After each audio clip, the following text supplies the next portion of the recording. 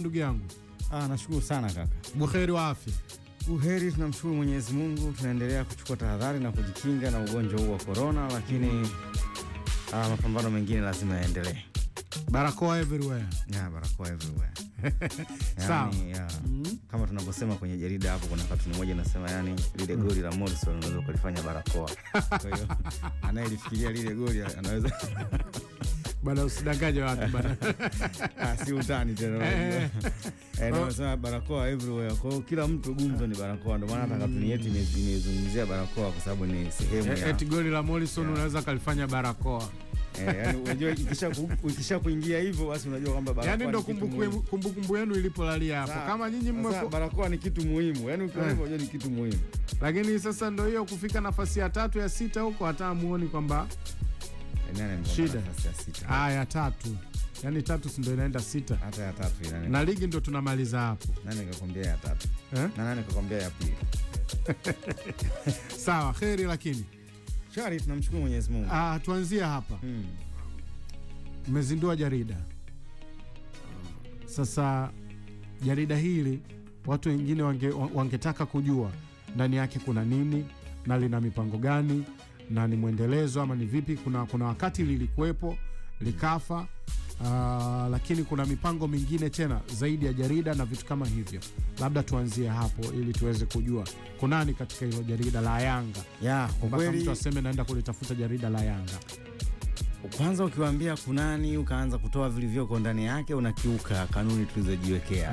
Vyombo vya habari tunaambiwa redio, hata magazeti mnadodosa tu. Eh, kidogo eh, ni vichwa Eh, vya lakini habari. nikwambie jarida li- limesheheni kuna makala mbalimbali za uh, wachezaji wa zamani mm.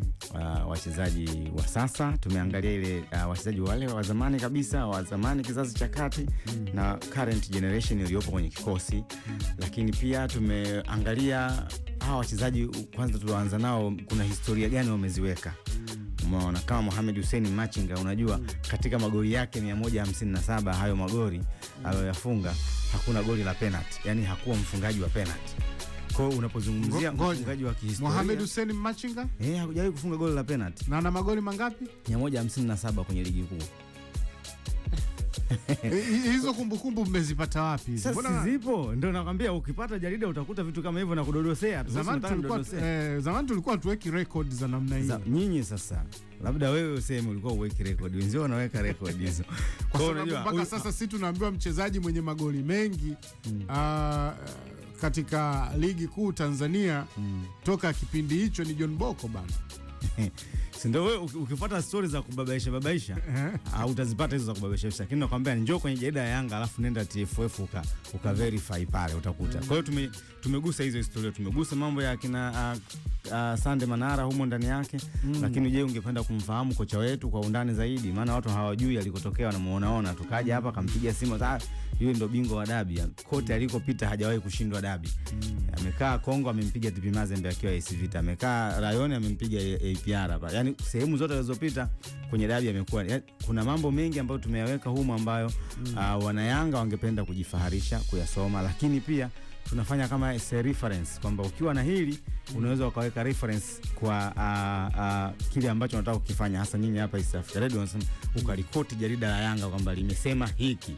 Tuna makala za kuhusu mabadiliko hapo ndani e, na mambo mengine mengi. Kwa hiyo ni vitu vingi ambavyo tumevizungumza kwa uh, minajili ya jarida hili. Niende mbali kidogo Mm, ukienda mbali eh, hapa uh, sawa, itabidi tuache tu kama tutaachana itatupasa. Mm.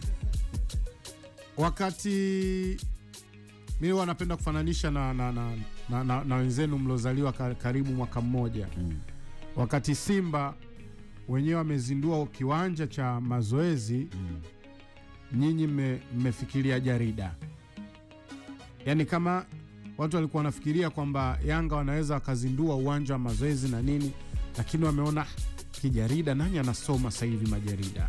Usifikirie huko, ukifikiria huko mm. sipendi kukuambia kwamba utakuwa na ufinyu wa mawazo Ah, ila sawa. napenda nikwambie kwamba mm. mawazo yako mm. yasiende kwenye hiyo. Mm, Simba wamezindua uwanja mm. after long process. Process, Hii yeah. ni, ni, ni project ya idara ya habari mm. Inaletwa kwenye klabu kama projekti ya idara ya habari kupanua wigo wa habari mm. kwa wanayanga waweze kupata taarifa mbalimbali za klabu yao. mm. Moja, tumezindua jarida, tumezindua website na application mm. jana tu peke yake. mm -hmm. Tunatanua wigo kwanza wa watu kupata habari, lile ombwe la habari la ukosekanaji wa habari lisiwepo. Ni mkakati wa idara ya habari ambao uko ndani ya klabu ya Yanga, sio mipango ya ujenzi wa klabu ya Yanga. Umeelewa? Okay. Kamati ya ujenzi ya Yanga inaendelea na michakato mbalimbali ambayo ah, kama ulivyoona kipindi kilichopita mm. wamezungukia viwanja mbalimbali kujaribu kuangalia wanafanyaje wanafanyaje. Tuna kiwanja kule Kigamboni, tuna kiwanja pale pale klabuni. Kwa haya sio mipango ya klabu ya maendeleo sijui ya kufanya nini na nini ya ujenzi. Okay. Ukisema hivyo utakuwa unakosea. Hata tukifungua akaunti sasa, ah, nyinyi mnafungua akaunti wenzenu wenzenu wamefungua sijui nini. Na hatutaki kujilinganisha kwa maana kwa minajili hiyo. Tunakwenda Yanga systematic. Pale ndani kuna vitengo mbalimbali. mm. Sawa? mm. Kila kitengo kinafanya kazi yake. mm. Sawa? mm. Kitengo ambacho kazi inaiva kinazinduliwa. mm. Kazi inaiva inazinduliwa. Ndio kwenda kisomi. Huwezi tu kwenda kwa sababu mwenzio kaoa na wewe ukakurupuka ukaoa. Wewe umevaa kanzu na mimi nikurupuke nivae kanzu. Unajua? Hatuendi hivyo, tunakwenda kwa mipango ambayo tumejipangia. Kwa hiyo hapa tunatakiwa sisi kama idara ya habari Mm. ya klabu ya Yanga tunapasua kwanza lile ombwe la wa habari lililokuwepo pale. Kwa atapata jarida, anapata web, anapata application. Zote ziko juu. Mm. Jana tu peke yake kwa takwimu nikwambie, jana peke yake application tulitesti watu mia moja Mm. lakini baada ya uzinduzi jana tuna watu elfu saba sasa hivi Okay. download na installation elfu saba na comment kibao na kuna vitu vingi ndani. Lilianza Website- kuna wakati gazeti hili lakini baadaye ikawa kama tia maji tia maji yeah. kama likapotea hivi. yeah, lilipotea. Tuna uhakika gani tutaendelea katika hili? Inawezekana Bumbuli akiondoka na kaondoka na gazeti lake, kwa vile Bumbuli ametoka kwenye uandishi wa kuandika, anajua mipango ya hii, lakini mm. akiondoka atakaoacha Kushnei Margea, tunarudi tena kule kule. Ndio nakwambia mipango kwa, kwa uongozi uliopo sasa hivi wameweka mipango madhubuti ya kuhakikisha kwamba hili jarida linatoka Mm. eh, kila mara. mm. Kwa hiyo uh, tume, tumeliweka hilo kwa maana kwamba pamoja na mambo mengine ni, ni sehemu ya kipato cha klabu, kwa sababu unaponunua jarida unachangia klabu yako ya Yanga. Mm. Umeona? Kwa hiyo sasa viongozi waliopo na sisi tuliopo tumeona kwamba kwa kweli ilianzishwa na viongozi waliopita mm. tukaangalia changamoto walikwama wapi na nini kilifanyika mpaka likawa halitoki. Kwa kwao sisi tukasema tujipange namna hii ili tuweze kutoa matoleo aa, yasiyo ya mfululizo, yani lisije likakwama. mm. Kwa hiyo mipango ipo ndugu yangu, na mbali na jarida hilo unaloliona hapo bwana, si watu wa TV wananichua, lete huku watu waone eh, mbali na jarida hili unaliona una, una, unaliona hapa ndugu yangu kuna gazeti linakuja lina, la Yanga ambalo lenyewe pia Naona, naona mbele kabisa mmemweka mkombozi. Mkombozi? Tumemweka mchezaji wetu hapo. Yeah. Umetaja moja kati ya hiyo naweza kusema ni record na watu wengi wanaweza kawa wameshtuka mm. kama ambavyo Goza aligusa hapo kwamba mm. kwa notion ambayo ipo kwa watu wengi kwamba John Boko ni mchezaji ambaye anatajwa kwa kufunga mabao mengi zaidi.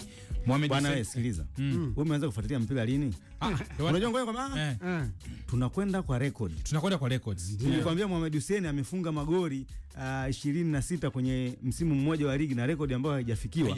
Usiseme kwamba oh, unajua watu walikuwa hawajui jui. watu wanajua ndio maana wamesema humo Sasa ni- Yaani nakwambia hivi, acha kusema kwamba rekodi, hamjaanza kutunza rekodi vizazi vya sasa hivi. Eh?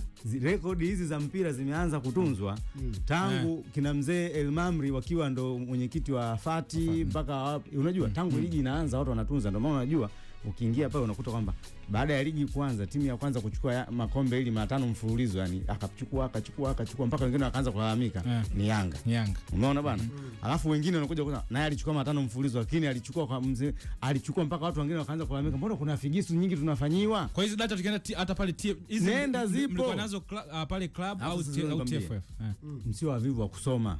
Maktaba ya taifa pale. Yeah. Pale maktaba pale. Maktaba ya. Pale maktaba ya taifa pale azikiwe. mm. Pale kuna kila kitu. Ukilipa shilingi elfu ngapi ile wanachama pale ukiingia kuna magazeti ya zamani mno, ukifika pale unapekua tu Mm. unasoma. Kwa hiyo msio wavivu wa kusoma kupata hivi vitu. Ah, yani Bumbuli kitu ambacho nilikuwa nataka ah, nakizungumza hapa. Eh. Hizo Hapa- records. hapa sio- sawa. sio Kwa- uvivu. eh, mm. kwa, kwa sababu lakini ah, tuna, tuna, tunawekana tunawekana sawa. kwa sababu mfano sawa, zipo. tulikuwa tulikuwa tulikuwa tupo na Tichatega na Lukinja mm. tukawa tunazungumza kwenye eneo la ufungaji, si ndio? mm. Tukaja kwenye hii record ya Mohamed Hussein mm.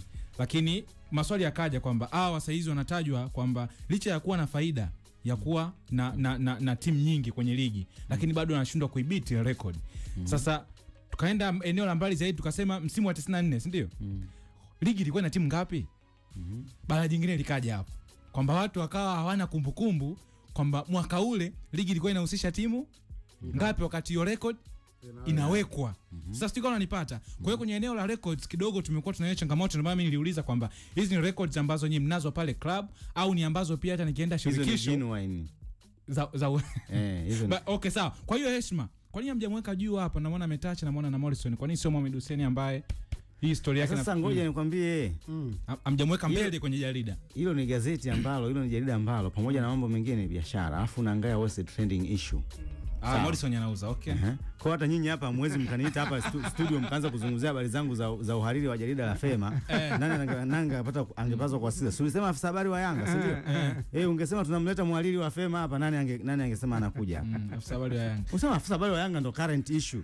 Okay, ndio? uh, nikijaribu kutazama naona mahojiano ambayo uh, mengi yanaonekana ni binafsi pamoja na records za klabu naona pia ma- yamezungumzwa maswala ya usajili wa dirisha dogo kama umegusa pia maswala ya uwekezaji hili litakuwa linakuja na vitu special vya ndani ambavyo havijafika mtaani bado Exactly. Au hata kama vitakuwa vimefika mtaani vitakuwa kwa nani ya Yanga lakini humo vinakuwa extended. Upana wake. Eh, unajua kuna habari kwa ufupi alafu kuna taarifa ya habari. kamili. Zamani ilikuwa Radio Tanzania habari kwa ufupi, taarifa ya habari afu majira. Mm. Naelewa? Kwa ile ina hii hii jarida ni extended. mm. Linapanua zaidi. yani unapata mpaka kile usichokijua, mpaka cha chini ya carpet. Okay. Haya bwana, kama unaendelea kusikiliza, tupo na Hassan Bumbuli, afisa habari wa Yanga. Sita na nusu imetimia hapa, tunazungumza